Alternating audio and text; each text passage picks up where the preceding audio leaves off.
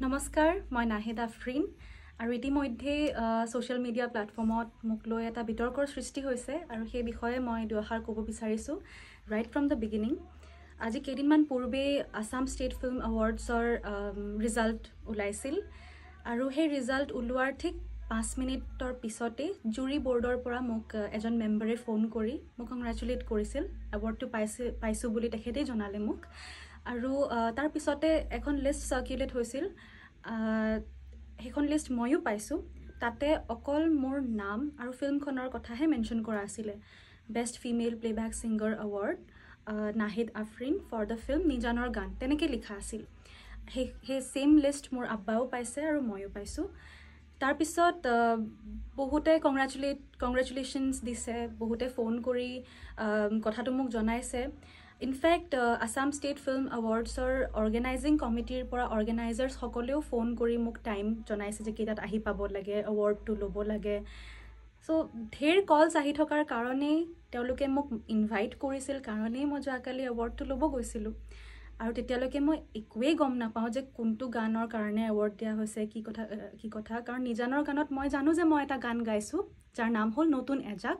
আৰু সেই গীতটিৰ কাৰণেই মোক এৱাৰ্ডটি দিয়া হৈছে বুলি মই গম পাইছিলোঁ। তো আজি অকস্মাতেই এইটো ৰিপাৰ্কশ্যনৰ এটা সৃষ্টি হ'ল। আৰু কিছুমানে কিছুমানে নহয় অলমষ্ট চবেই সেইটো কথাই কৈ আছে যে নাহিদে যেতিয়া এৱাৰ্ডটো ল'বলৈ গৈছিলে তেতিয়া তাই ন'টিচ নকৰিলে নেকি যে বেক চাইডে স্ক্ৰীণখনত গানটোৰ নাম ওলাই আছিল নীলাতে লুকা ভাকু খেলা বুলি।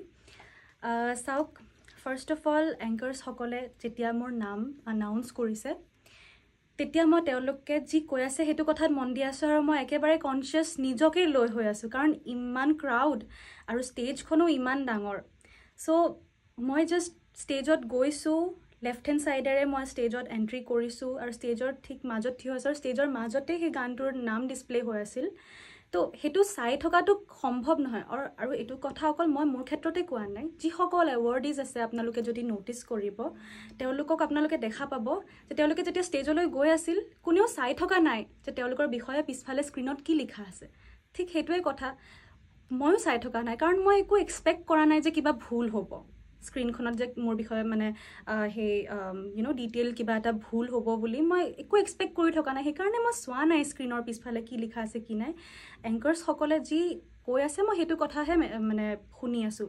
অঁ তেওঁলোকে যদি গানৰ নামটো মেনশ্যন কৰি দিলে হয় তেওঁলোকৰ কথাত যে best singer award goes to miss Nahid Afreen Ansari for the film নিজানৰ গান ফৰ দ্য ছং নীলাতে লুকা ভাকু এনেকৈ যদি ক'লে হয় তেতিয়া মই শ্বক থলোঁ হয়।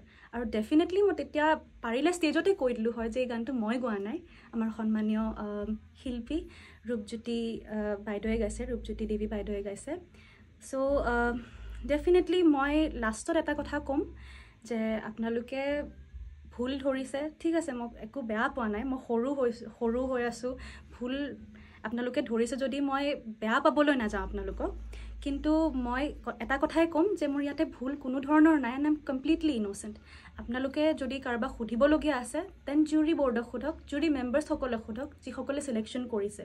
তেওঁলোকে মোৰ নাম নমিনেট কৰি মোক চিলেক্ট কৰিছে নে তেখেতৰ নাম নমিনেট কৰি তেখেতক চিলেক্ট কৰিছে এই গানটোৰ কাৰণে সেইটো তেওঁলোকৰ পৰা ক্লেৰিফিকেশ্যন যদি আহে মই বেছি ভাল পাম।